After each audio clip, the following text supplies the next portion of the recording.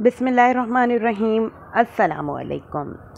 आज मैं आपको आधा किलो कैरी से बनने वाला एक बेहतरीन किस्म का मुरब्बा और उसी के साथ हम एक कैरी का शरबत तैयार करेंगे।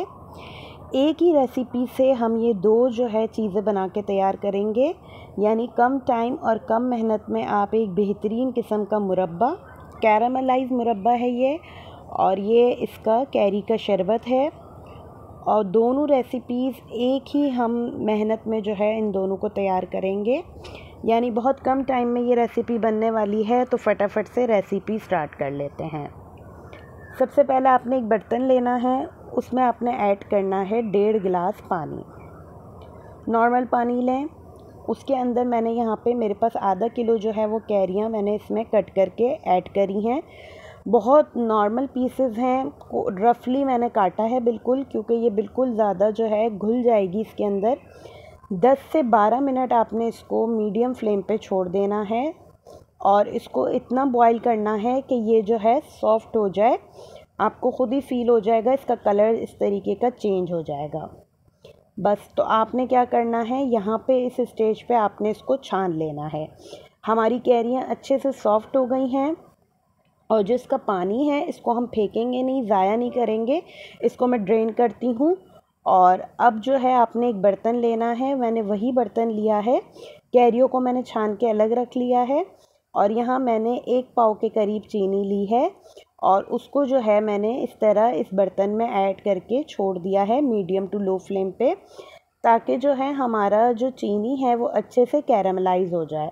मुरब्बे आपने बहुत किस्म के देखे होंगे, बहुत किस्म के आपने खाए भी होंगे, लेकिन आज की जो रेसिपी है मुरब्बे की, ये बिल्कुल डिफरेंट है, बिल्कुल न्यू है और बहुत ज़बरदस्त किस्म का इसका टेस्ट है। तो यहाँ पे आपने चीनी को कैरामलाइज़ करना है, पाँच से आठ मिनट लगेंगे। और ये चीनी जो है हल्के हल्के से मेल्ट होना शुरू हो जाएगी। याद रहे कैरमल कर, करने के लिए हमें शुगर को जो है वो लो टू मीडियम फ्लेम पे ही इसको मैंने पकाना होता है। इसको आपने हाई फ्लेम पे नहीं पकाना, नहीं तो चीनी जलना शुरू हो जाएगी। थोड़ी देर जब आपकी ये चीनी खुद ब खुद गर्म होगी तो ये मेल्ट होना शुरू हो जाएगी। अभी जैसे ये चिपका चिपका सा इसका टेक्सचर है थोड़ी देर में ना ये बिल्कुल लूज़ होना शुरू हो जाएगी। जब ये कम्प्लीटली मेल्ट हो जाएगी तो ये लूज़ होना शुरू हो जाएगी। अगर आपको मेरी वीडियोस अच्छी लगती हैं और आप मेरे चैनल पे नए हैं तो मेरे चैनल को सब्सक्राइब ज़रूर से कर लीजिएगा। और वीडियो अच्छी लग रही हो तो इसको लाइक कीजिएगा और इस मुरब्बे की रेसिपी को ज़रूर से ट्राई कीजिएगा। अभी देखें थोड़ी देर में ना ये चीनी हमारी बहुत लाइट हो गई, यानी मेल्ट होना शुरू हो गई है। और बहुत ही आपको ना फ्लोई टेक्सचर इसका नज़र आएगा। अब यहाँ पे चीनी को मैं इतना पकाऊँगी कि इसका कलर जो है, जो मुझे चाहिए इसका गोल्डन कलर मुझे मुरब्बे का लेकर आना है येलोइश गोल्डन तो यहाँ पे देखें, मैंने इसको पका लिया है। बिल्कुल हल्की हो गई। अब इसमें ना आधा गिलास आपने पानी ऐड करना है। अब यहाँ पे आपने घबराना नहीं है कि चीनी पानी में जो है वो अजीब सी हो गई। ये कुछ भी नहीं होगा, थोड़ी देर आप इसको पकाएँगे हिलाते हुए तो ये जो है अच्छा सा गोल्डन कलर का आपका एक शीरा बन जाएगा। अब यहाँ पे जो बॉयल हुई हुई हमने कैरी रखी थी, वो हमने इसमें डालनी है। अभी जो हमने आधा ग्लास पानी इसमें ऐड किया है तो उसकी वजह से जो है, अभी हमारा ये जो मुरब्बा है, ये थोड़ा सा पतला है इसकी कंसिस्टेंसी थोड़ी देर आप इसको पकाएँ पाँच से सात मिनट तो ये अच्छा गाढ़ा हो जाएगा। अब आ जाते हैं, ये जो हमने इसका कैरी का जो पानी है, हमने इसका जो ड्रेन किया था तो उससे हम बनाएँगे एक मज़ेदार सा शरबत, आम पन्ना, जो कि गर्मियों में बहुत आपके लिए बेनिफिशियल है, जिगर की और मैदे की ठंडक के लिए बेहतरीन है। यहाँ इस शरबत में मैंने जो है दो खाने के चम्मच चीनी ऐड करी है। थोड़ी सी मैं इसमें काली मिर्च ऐड करूँगी, तकरीबन एक चुटकी के करीब। और गरम गरम में ही ये काली मिर्च और चीनी आपने ऐड करके इसको मिक्स कर लेना है ताकि चीनी हमारी अच्छे से डिज़ोल्व हो जाए।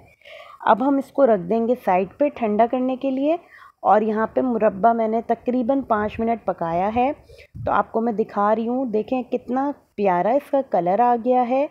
और जो हमारी कैरियाँ थी, वो हमने क्योंकि बॉयल करी थी तो अच्छे से ये इसके अंदर बहुत जैसे ना जो मुरब्बे का टेक्सचर होता है ना, वो थोड़ा सा गाढ़ा सा होता है चीनी की वजह से और जो आपकी जो कैरी के पीसेस होते हैं ना, वो अनइवन होते हैं।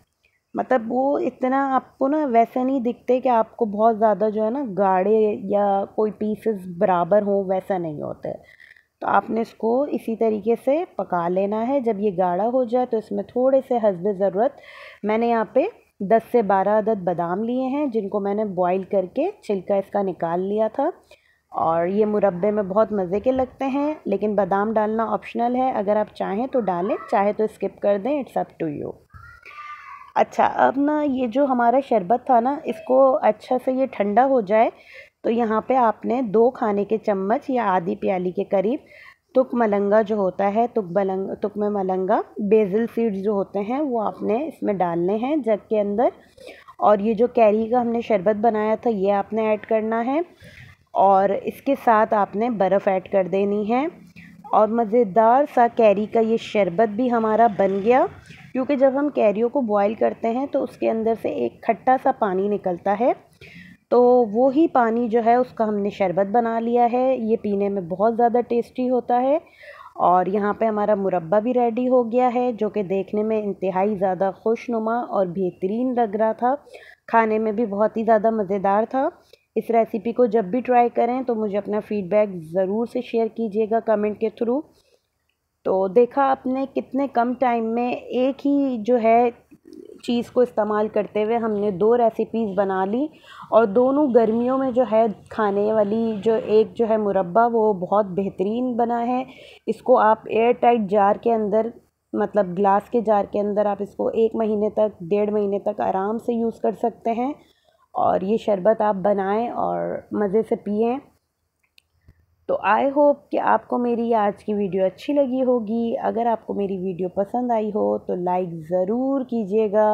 अपना और अपनी फैमिली का ख्याल रखिएगा। मुझे अपनी दुआ में याद रखिएगा। अल्लाह हाफ़